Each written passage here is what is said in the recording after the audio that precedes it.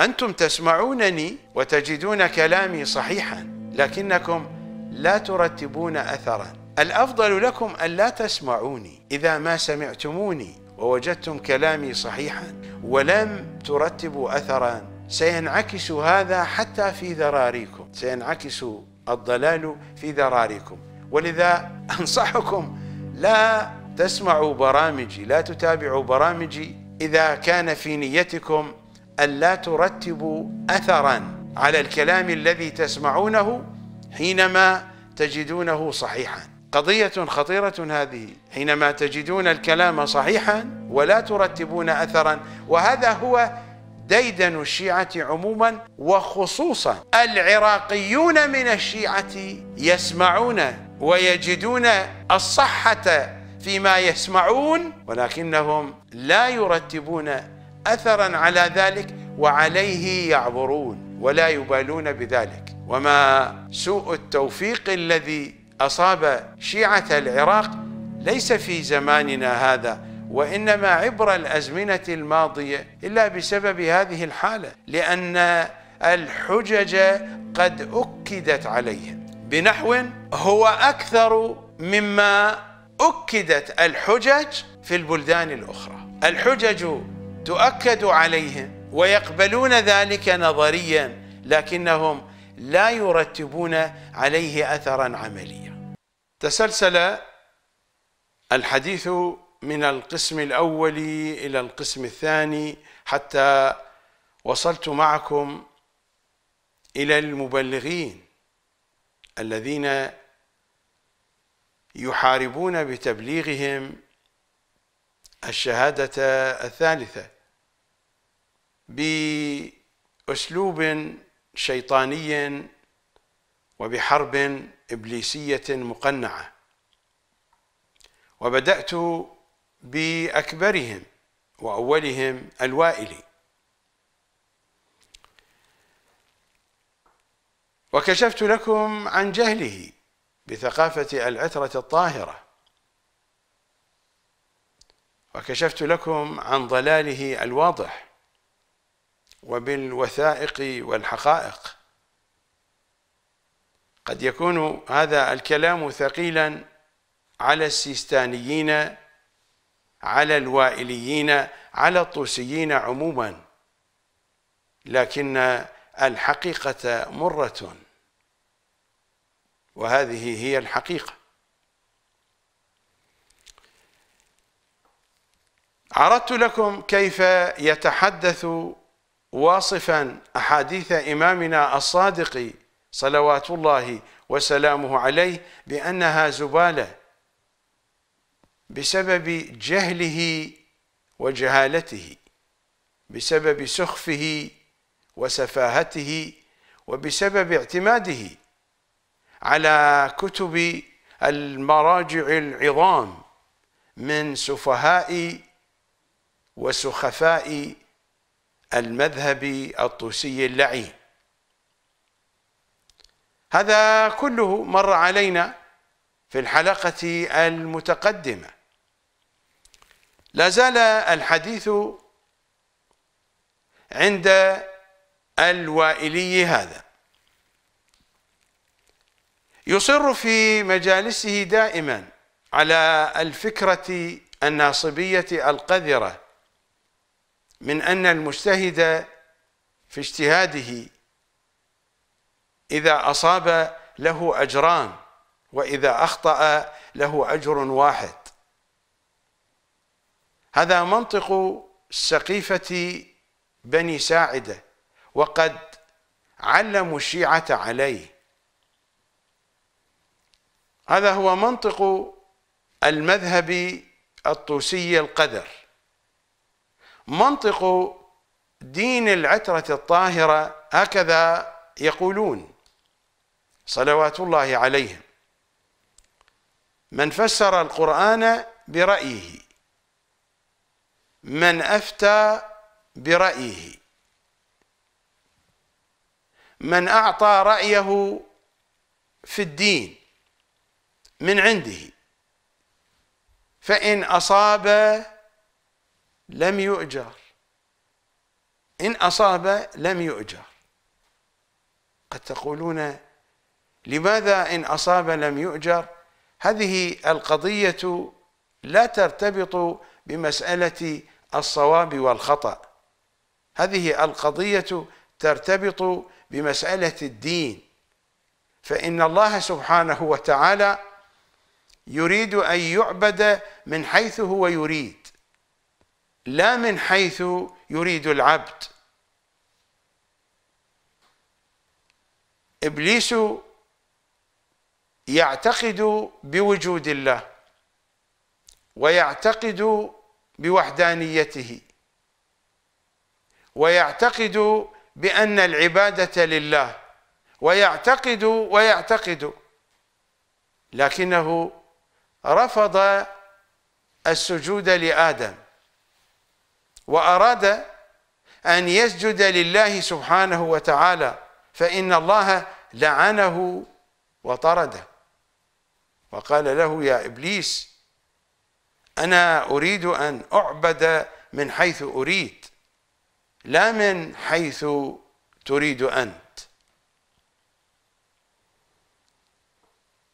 المشكلة هنا ليست في الصواب والخطأ وإنما مثل ما بين لنا إمام زماننا صلوات الله وسلامه عليه طلب المعارف من غير طريقنا أهل البيت مساوق لإنكارنا. قد تكون النتائج في بعض الأحيان صحيحة لكن الإنسان لا يؤجر عليها. هذا منطق العترة. من فسر القرآن برأيه يعني أنه قد نقض بيعة الغدير لم يلتزم بمواثيق بيعة الغدير في أن التفسير يؤخذ من علي وآل علي. من فسر القرآن برأيه من أفتى برأيه. حتى هذا الحديث من أفتى بغير علم أكبه الله على منخريه في نار جهنم. من أفتى بغير علم بغير علم يريده الله.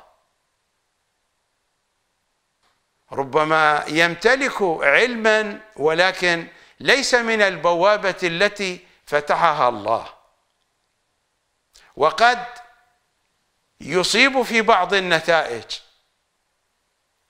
لكنه حينما يفتي من دون علم محمد وآل محمد النتائج في آخر الأمر عاقبة أمره بغض النظر هل كانت النتائج العلمية صحيحة أم لم تكن. القضية ترتبط بأصل المعتقد ترتبط بحقيقة العبادة. فمن أفتى بغير علم بغير علم مأخوذ منهم صلوات الله عليهم. بغير قرآنهم المفسر بتفسيرهم. وبغير حديثهم المفهم بتفهيمهم. الذي يفتي يفتي في القرآن يفتي في العقائد الفتوى ليست خاصة بالمسائل الابتلائية في أحكام الحياة اليومية. التفسير فتوى العقيدة فتوى الفتوى بيان رأي بيان نتيجة علمية تبتني على مبان وعلى أدلة وعلى مقدمات.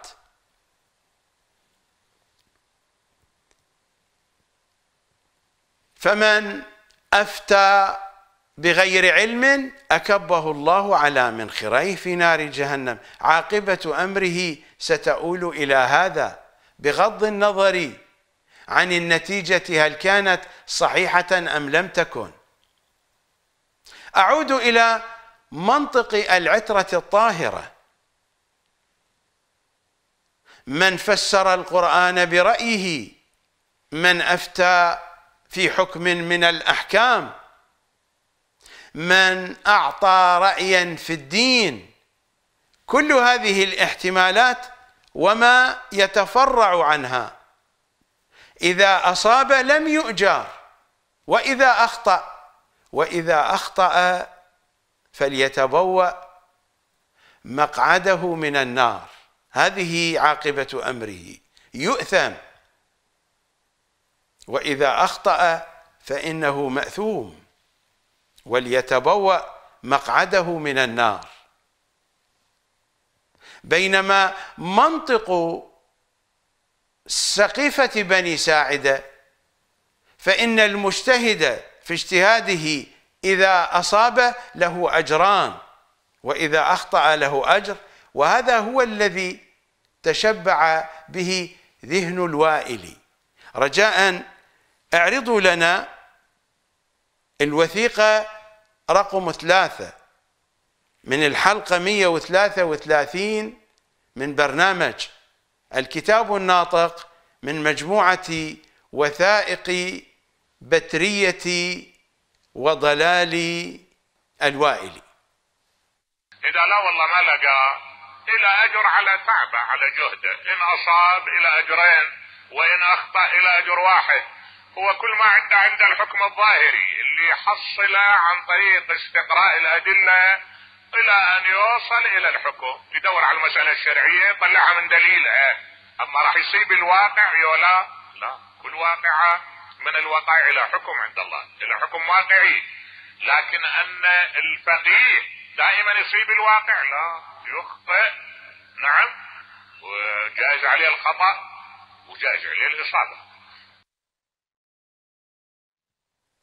هذا هو منطق الوائل ومن على ذائقته في المذهب الطوسي القذر.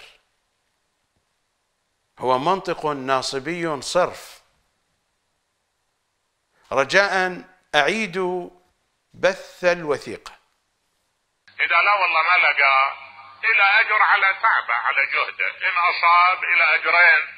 وإن أخطأ إلى أجر واحد هو كل ما عنده عنده الحكم الظاهري اللي يحصله عن طريق استقراء الأدلة إلى أن يوصل إلى الحكم. يدور على المسألة الشرعية يطلعها من دليلها أما راح يصيب الواقع يولا لا؟ كل واقعة من الوقائع إلى حكم عند الله إلى حكم واقعي. لكن أن الفقيه دائما يصيب الواقع لا. يخطئ. نعم. وجائز عليه الخطأ. وجائز عليه الإصابة هذا الرجل منذ خمسينات القرن الماضي القرن العشرين إلى أن توفي ملأ رؤوس الشيعة بالقذارة الناصبية وبتأييد من مراجع النجف وكربلاء بتأييد من المراجع الطوسيين الذين ماتوا أو الذين بقوا من الأحياء. سود الله تعالى وجوههم جميعا من الأموات أو من الأحياء. على الذي فعلوه بالشيعة. لقد فتحوا مجرا كبيرا من مجاري النجاسة الناصبية الطوسية وملأوا رؤوس الشيعة بقذارته. نذهب إلى الوثيقة رقم أربعة من الحلقة 133 من برنامج الكتاب الناطق من مجموعة وثائق بترية ومرجئية وضلال الوائل. أعود للموضوع. إذا القياس إحنا ما مضطرين إلى ما محتاجين إلى حتى ندور قياس. لا. الأحكام كافية في تغطيتها. أي مسألة تتصورها هي لها حكم. ولذلك المجتهد عليه أن يدور عن هذا الحكم. إذا أصاب أه؟ الله يعطيه أجرين. أجر على تعبة واجر على إصابة الحكم الواقعي. وإذا لا والله أخطأ الحكم الواقعي. يأخذ أجر لأن تعب. الدليل وصل لهنا. شو ما أدري الله عز وجل أعلم بأحكامه. الواقع هو عند الله. المجتهد عليه أن يهيئ أدوات الفنية ويبحث إلى أن يتعب يوصل. إذا وصل الله يثيبه على ذلك. بس بشرط كما سيمر علينا إن شاء الله بشرط أن يكون مجتهد. هذا هراء النواصب بدرجة مئة بالمئة. وهكذا يعلمونكم.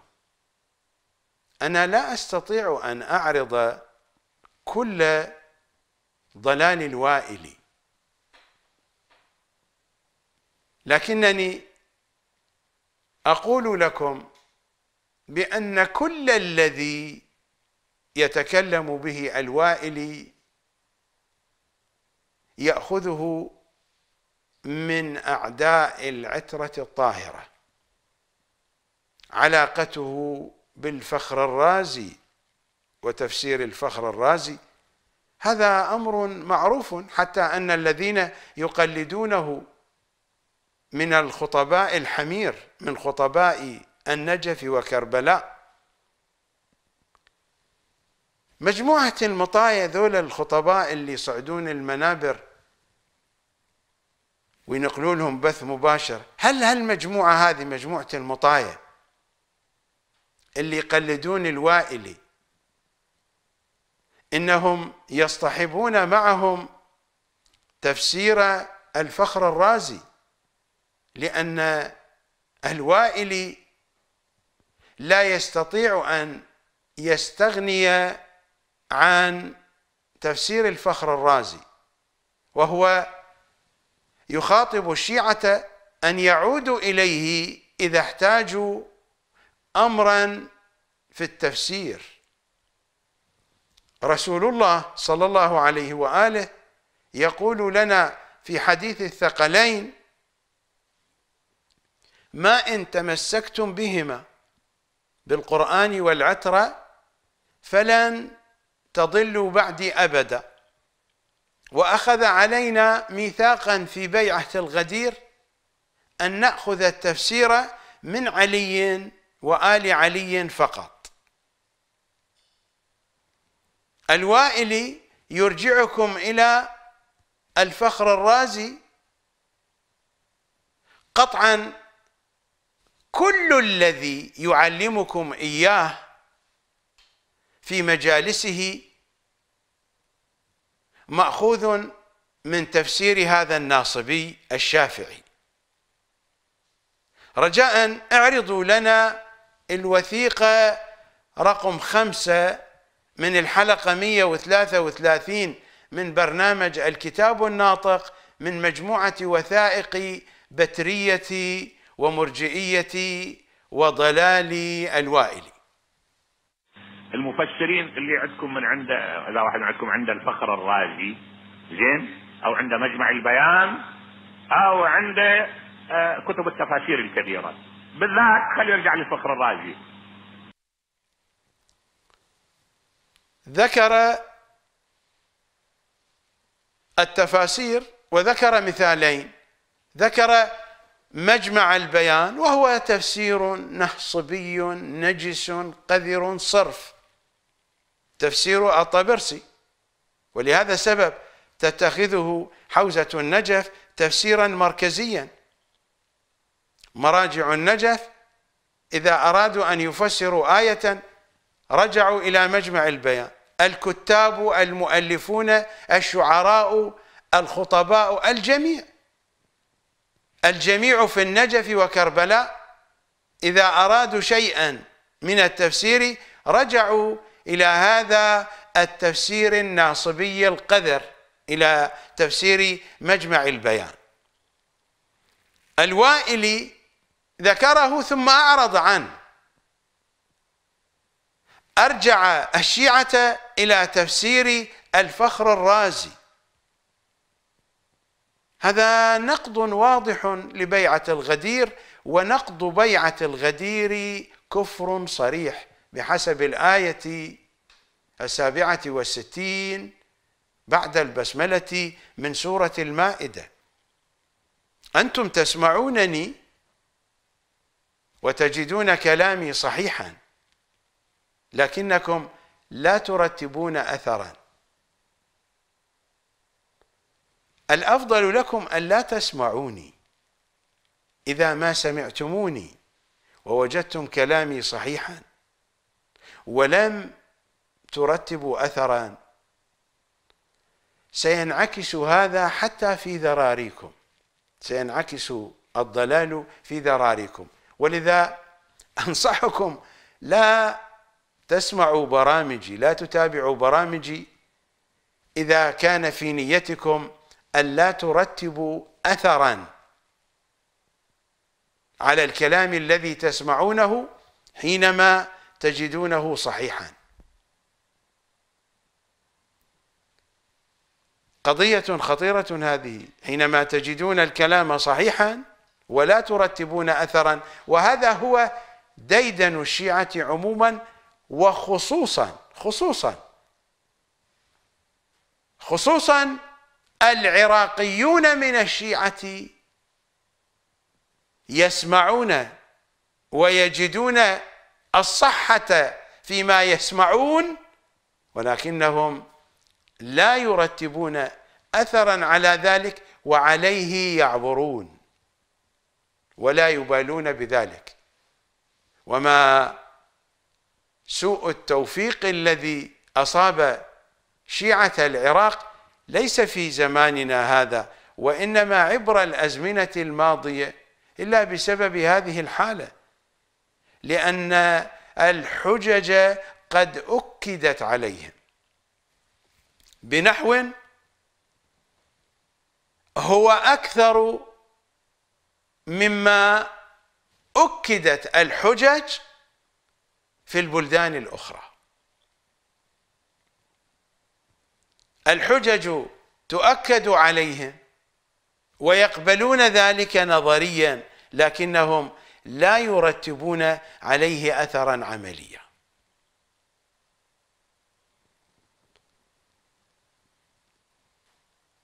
رجاء أعيد بث الوثيقة. المفسرين اللي عندكم من عند إذا واحد عندكم عند الفخر الرازي زين؟ أو عند مجمع البيان أو عند آه، كتب التفاسير الكبيرة. بالذات خلي يرجع للفخر الرازي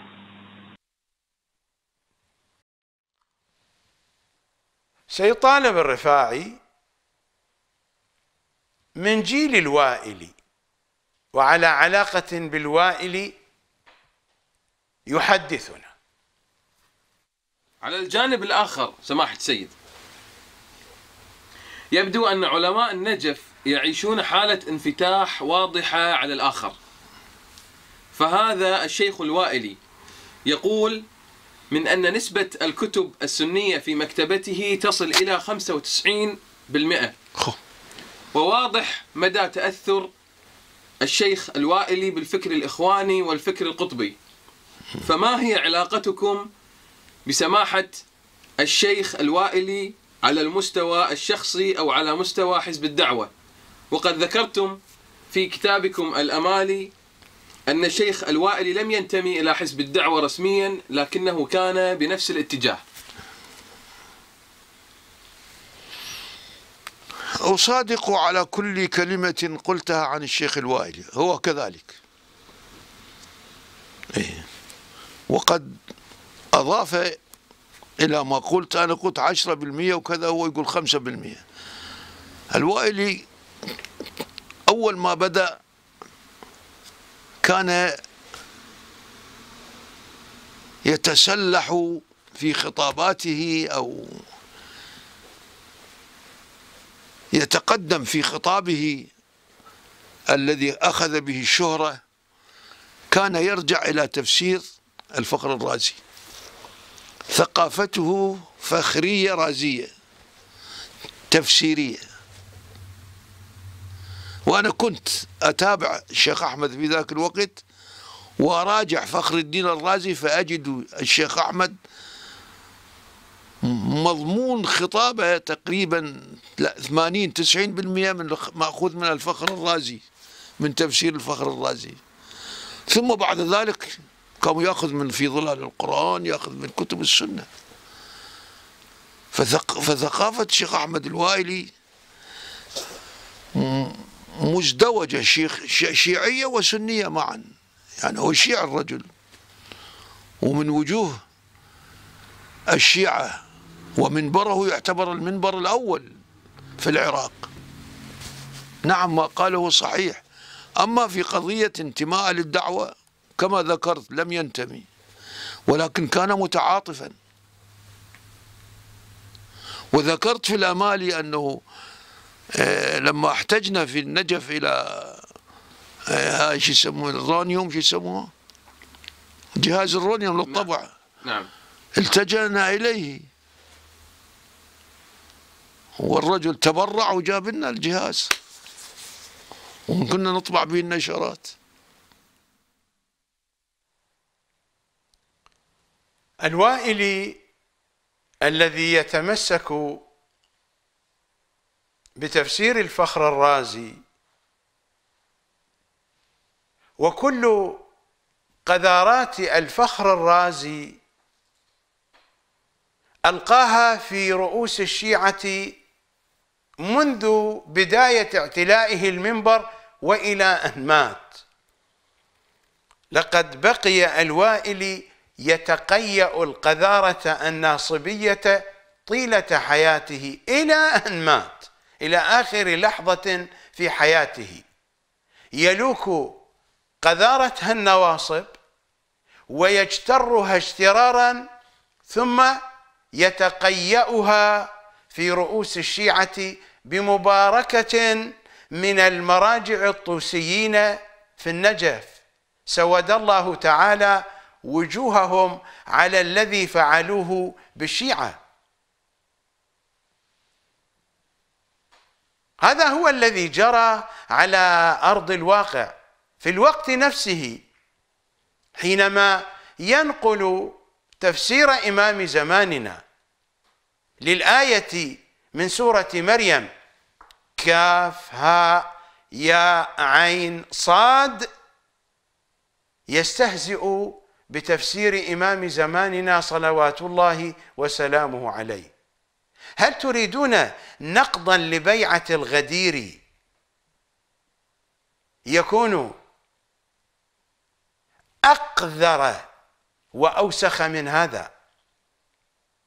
في الوقت الذي يتقيأ في رؤوسكم خراء الفخر الرازي. في الوقت ذاته مراجع الخراء في النجف يدفعونكم باتجاهه ويقولون لكم هذا هو الذي يمثل التشيع يمثل التشيع الطوسي النجس الخرئ. في الوقت نفسه يستهزئ بتفسير إمام زماننا صلوات الله وسلامه عليه. الرواية الأصل في كمال الدين وتمام النعمة للصدوق المتوفى سنة 381 للهجرة. وهذه الطبعة طبعة مؤسسة النشر الإسلامي قم المقدسة. الرواية طويلة.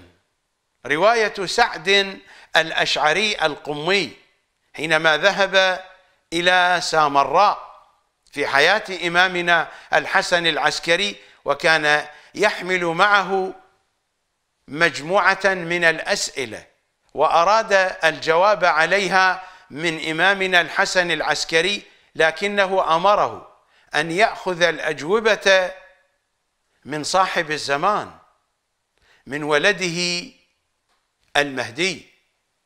الإمام أجاب على أسئلة سعد الأشعري. من جملة أسئلة سعد الأشعري سأله عن تأويل كاف ها يا عين صاد. والتأويل هو التفسير بحسب ثقافة العترة الطاهرة. لا شأن لي بما يقوله نواصب سقيفة بني ساعدة أو ما يقوله نواصب سقيفة بني طوسي اللعينة النجسة الخرئة القذرة. وهذا الوائلي مصداق من مصاديقها وصورة من صورها. في الصفحة الثامنة والثمانين بعد الأربعمائة.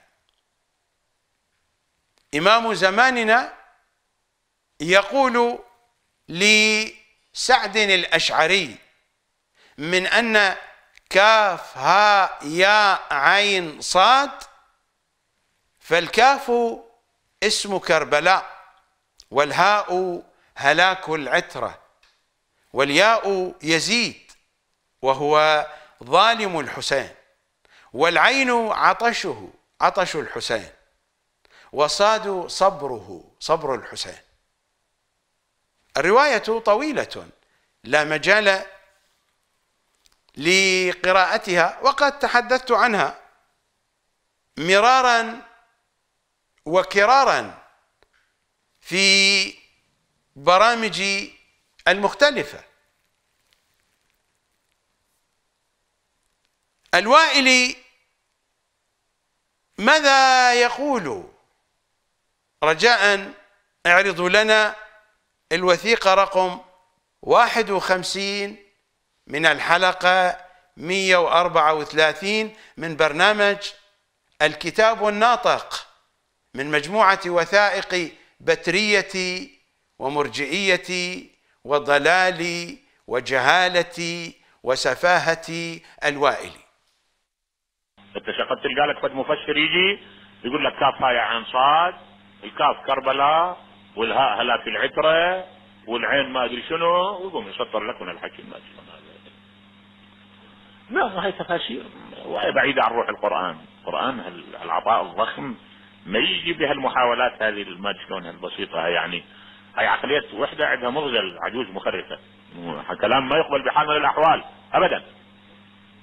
هاللون من التفسير لا يقبل بحال من الأحوال؟ هكذا تعلمكم حوزة النجف وهكذا يعلمكم الوائلي المشكلة أنكم لا تعون. القضية ليست خاصة بالوائلي كل الخطباء كل الفضائيات كل أصحاب العمائم كل أصحاب العمائم الذين تستمعون إليهم في المساجد في الحسينيات في الفضائيات في الدروس في كل مكان تصادفونهم في الشارع. ما يقدمونه لكم من الدين لا علاقة له بدين العترة الطاهرة. هو مناقض ومناف لدين العترة الطاهرة. بلا استثناء أنا لا أستثني أحدا. وخصوصا حينما تكون العمائم كبيرة. أقذر العمائم وأنجسها العمائم الكبيرة. أتحدث عن عمائم مراجع النجف. هذه عمائم الجهل والجهالة. عمائم السخف والسفاهة وهذه النتائج بين أيديكم. فما يتقيأه الوائل جاء به من عندهم قذارة الوائل ما هي من عنده أساسا؟ هي من عند أولئك القذرين. من عند أولئك الذين هم آيات للشيطان وما هم بآيات لله. نواب لإبليس وما هم بنواب لصاحب الزمان. هذه الحقيقة المقشرة الحقيقة المجردة الحقيقة العارية عن الأغطية والحجب. ما أعرضه لكم عن الوائل وعن غيره من المبلغين من مبلغي دين الشيطان؟ آثار لأولئك البتريين المرجئيين السخفاء الذين تتصورون أنهم نواب لصاحب الزمان. هؤلاء منجم للقذارة ومنجم للجهالة وما يتقيؤون به إن كان من فوق أو من تحت ينافر طهارة دين العترة الطاهرة والحقائق أعرضها بين أيديكم من كتبهم من مصادرهم ومن ألسنتهم.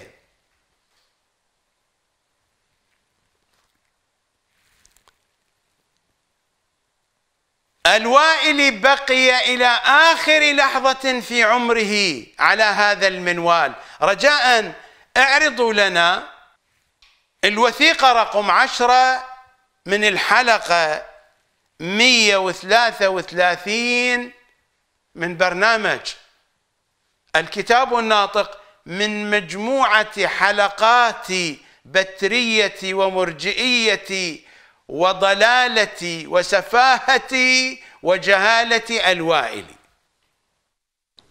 شيخنا آه، يخطرني أنه كان هناك لديكم توجه نحو إنشاء مركز لل أو مجمع للتقريب بين المذاهب. هل كنتم من الرواد في هذا حقيقة المجال؟ الفكرة هي ليست لي وإنما هي للجمعية بالذات. وقد جسدتها في خطوة أولى في كلية الفقه. لأننا في كلية الفقه كنا ندرس فقه أبي حنيفة. وفقه الشافعي وفقه أحمد بن حنبل وفقه مالك وفقه جعفر بن محمد الصادق على صعيد سواء. في كتاب الفقه المقارن لأحد أساتذة الحوزة أو أحد أساتذة الكلية المرحوم الشيخ محمد تقي آل السيد سعيد الحكيم تغمده الله برحمته الذي توفي في هذه السنة. تغمده الله برحمته وهو من اللامعين ومن الذهنيات الحادة التي أصلت وأعطت وأبدعت. في في جمعنا لآراء المذاهب الإسلامية وأخذ آراء المذاهب الإسلامية بدون حساسية بالإضافة إلى استعراض جملة من العقائد التي كنا نستعرضها وجملة من المسائل الفقهية. في مؤلفات فقهائنا كالخلاف للشيخ الطوسي وأمثال الخلاف مما كنا نقرأه من كتب أخرى للمذاهب الإسلامية. كل ذلك كان يشكل منهجا عندنا للجمع بين الأمزجة المختلفة للمذاهب الإسلامية في الاتجاهات العلمية. فنحن نشأنا في هذه الأجواء ونكاد نقول أن هذه الأجواء تربينا وترعرعنا عليها. فلا يقال أن عندنا توجه أو ميل إلى ذلك بل كنا في الصميم من ذلك. هكذا يقول الوائلي كنا ندرس فقه أبي حنيفة وفقه الشافعي وفقه أحمد بن حنبل وفقه مالك وفقه جعفر بن محمد الصادق على صعيد سواء. الرؤوس متساوية عنده. الرؤوس متساوية في النجف. ألا لعنة الله على حوزة النجف؟ إنها حوزة الضلال. ألا لعنة الله على حوزة الطوسي؟ إنها حوزة العقائد البترية والفكر المرجئي القذر. ألا لعنة الله عليها. منذ أن أسسها ذلك الطوسي المشؤوم سنة 448 للهجرة. وإلى هذه اللحظة يتواصل ضلالها ويتدافع غيها وتتركز بتريتها ومرجئيتها يوما بعد يوم. خصوصا حينما وصل السيستاني إلى المرجعية فقد عمق هذه المضامين كثيرا لبتريته الشديدة ومرجئيته الغليظة. بتري شديد جدا. هذا السيستاني. ومرجئي غليظ جدا. هذا السيستاني.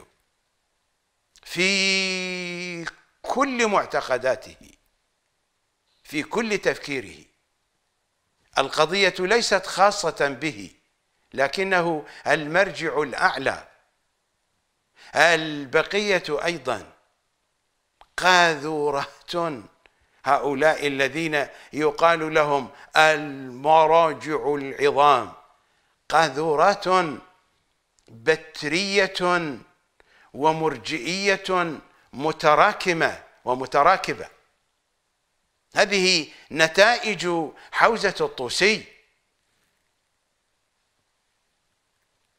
إلى أن يقول الوائلي فنحن نشأنا في هذه الأجواء. ونكاد نقول إن هذه الأجواء تربينا وترعرعنا عليها. فلا يقال لأن مجري المقابلة قال له أنه كان هناك لديكم توجه. فلا يقال فلا يقال أن عندنا توجه أو ميل إلى ذلك بل كنا في الصميم من ذلك يعترض على قول الذي يحاوره بأن قال له عندكم توجه. يقول أنا في الصميم في صميم هذا الموضوع رجاء أعيد بث الوثيقة. شيخنا آه، يخطرني أنه كان هناك لديكم توجه نحو إنشاء مركز لل أو مجمع للتقريب بين المذاهب. هل كنتم من الرواد في هذا حقيقة المجال؟ الفكرة هي ليست لي وإنما هي للجمعية بالذات.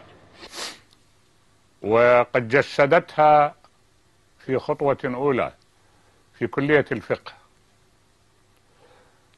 لأننا في كلية الفقه كنا ندرس فقه أبي حنيفة.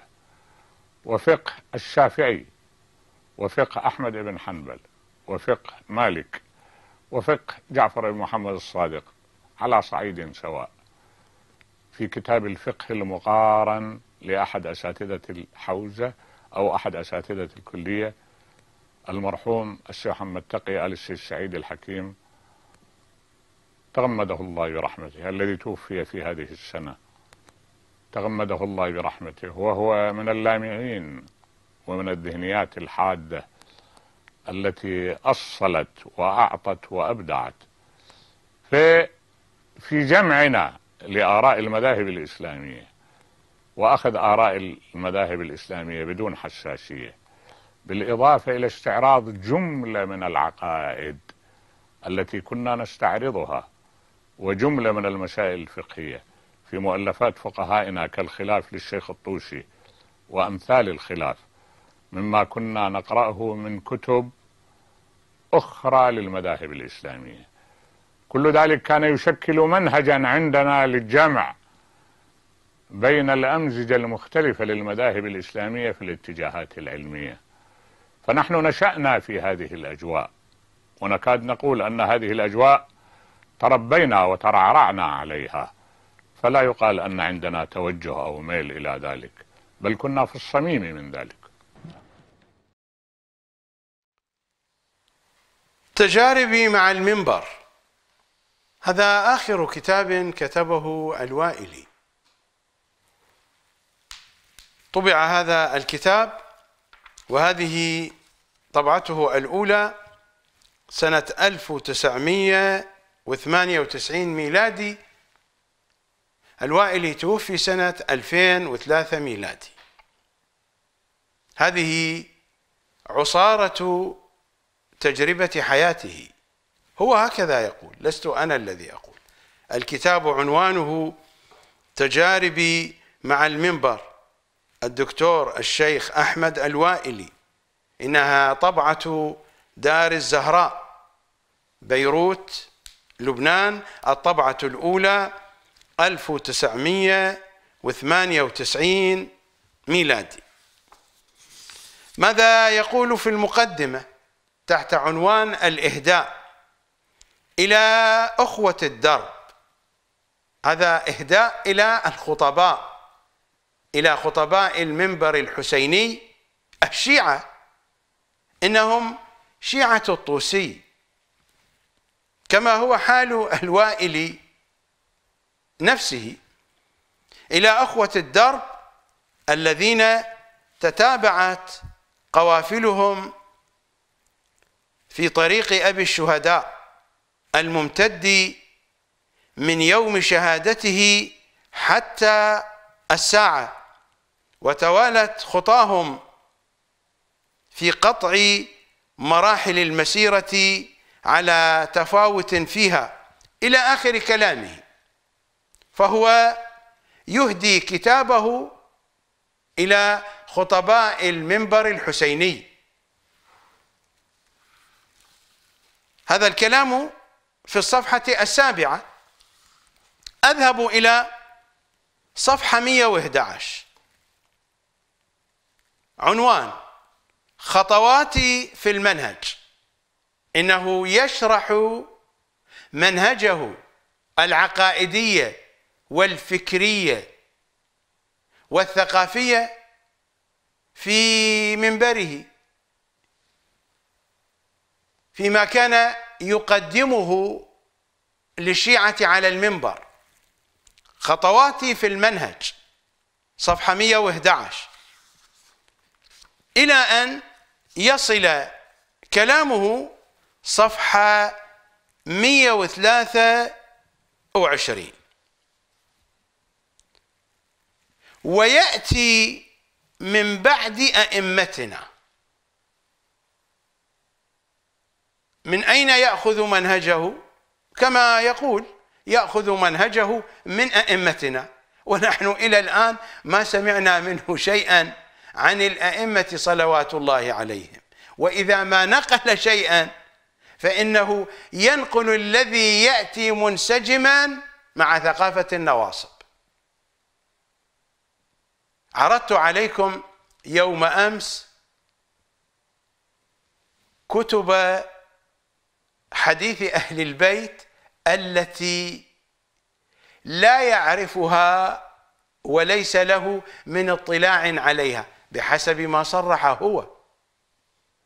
فهو كان يبحث عن رأي مخرف بخصوص الآية من سورة الشرح. فإذا فرغت فانصب. مر الكلام علينا لا أريد أن أعيده. وعمليا جئتكم بالكتب التي اعتمدها والتي على أساسها أنكر وجود حديث أهل البيت بخصوص الآية التي أشرت إليها قبل قليل. وجئتكم بمصادرنا وكتبنا التي لا يعرف عنها شيئا ولم يكن قد اطلع عليها لأنه لو كان قد اطلع عليها لوجد الأحاديث التي أنكرها وهو كان يبحث عن رأي مخرف كما يقول حتى لو كان مخرفا.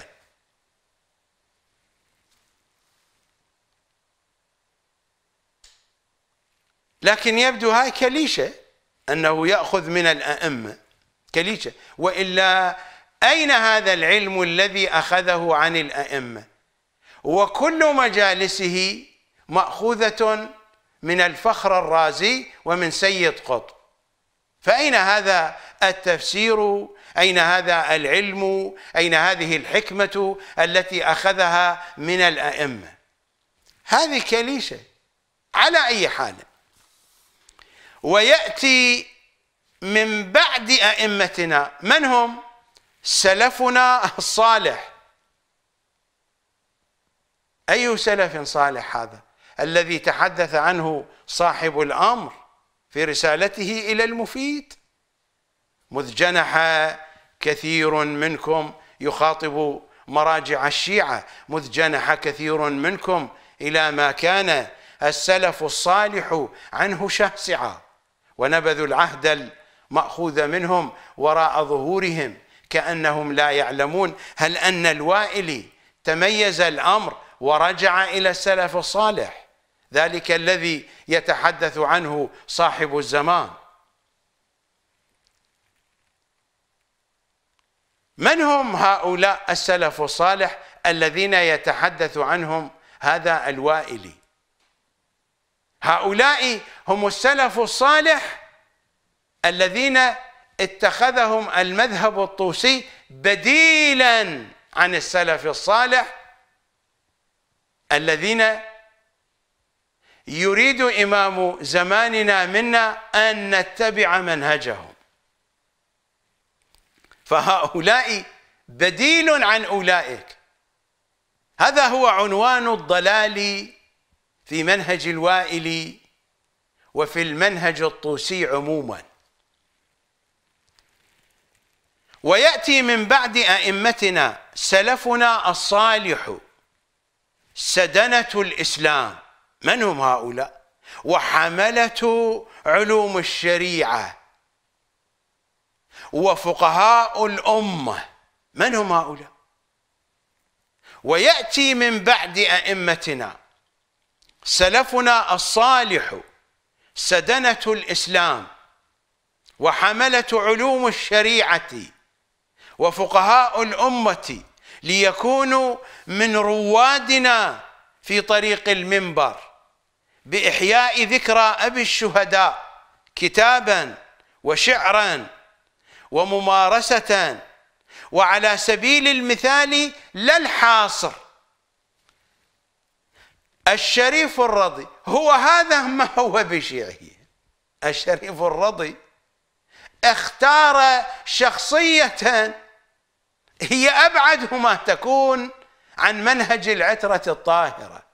هذا جلوهز عباسي. هذا من أعوان العباسيين. رجل كان يبحث عن السلطة والدنيا.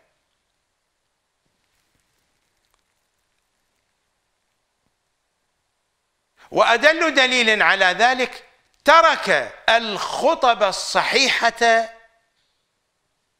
الموجودة في الكافي الشريف لم ينقلها في نهج البلاغة وذهب إلى كتب النواصب ونقل نصوص الخطب من كتب النواصب نقل النصوص المحرفة.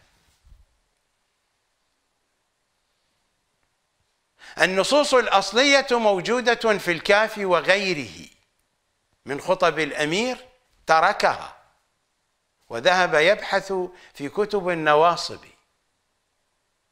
فجاء بصيغ منقوصة محرفة.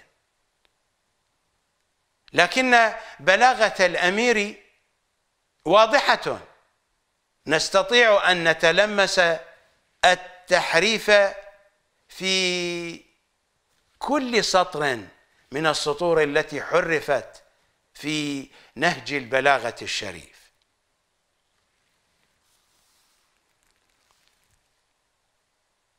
وعلى سبيل المثال لا الحاصر الشريف الرضي وماذا بعد؟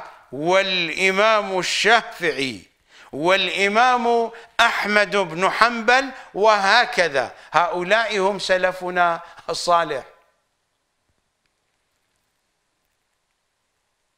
ويأتي من بعد أئمتنا سلفنا الصالح سدنة الإسلام وحملة علوم الشريعة وفقهاء الأمة ليكونوا من روادنا في طريق المنبر بإحياء ذكرى أبي الشهداء كتابا وشعرا وممارسة وعلى سبيل المثال لا الحاصر الشريف الرضي والإمام الشافعي والإمام أحمد بن حنبل وهكذا. ما شبيه الشيء ينجذب إليه ينجذب إلى الشريف الرضي. وهكذا يتسلسل استعراض الواقعة من العصور الأولى إلى هذه العصور.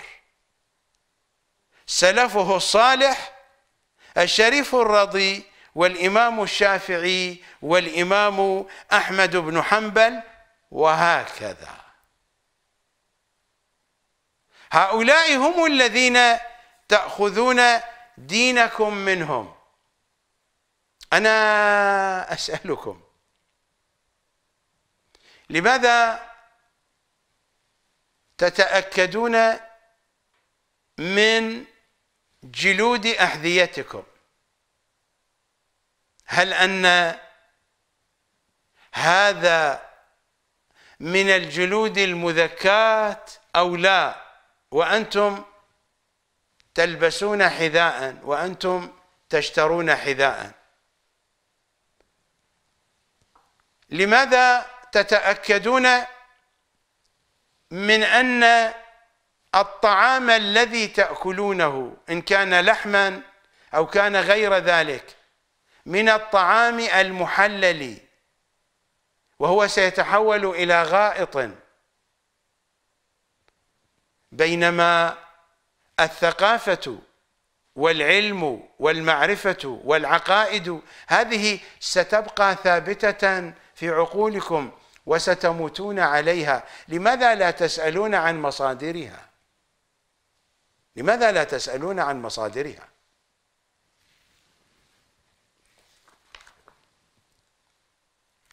ماذا نقرأ في الكتاب الكريم؟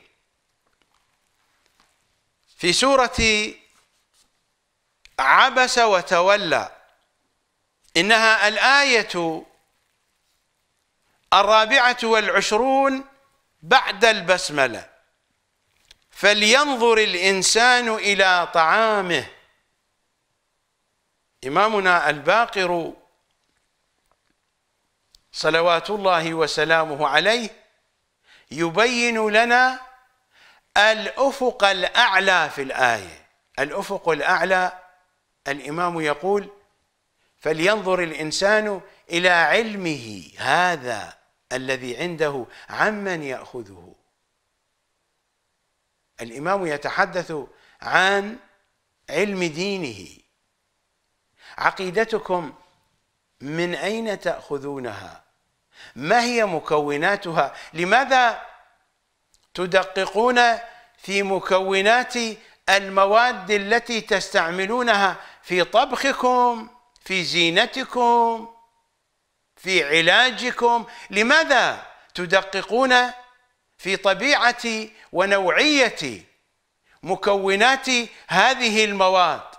ولا تدققون في طبيعة ومكونات مواد علم دينكم.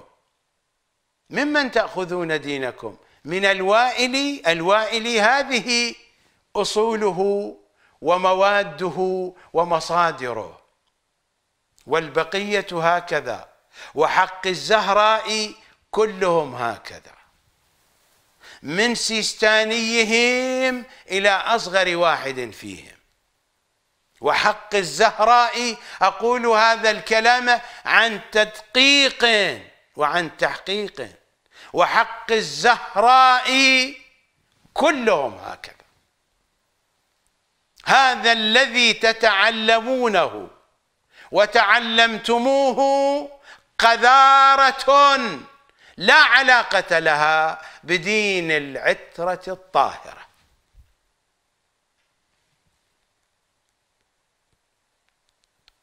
هل تعون؟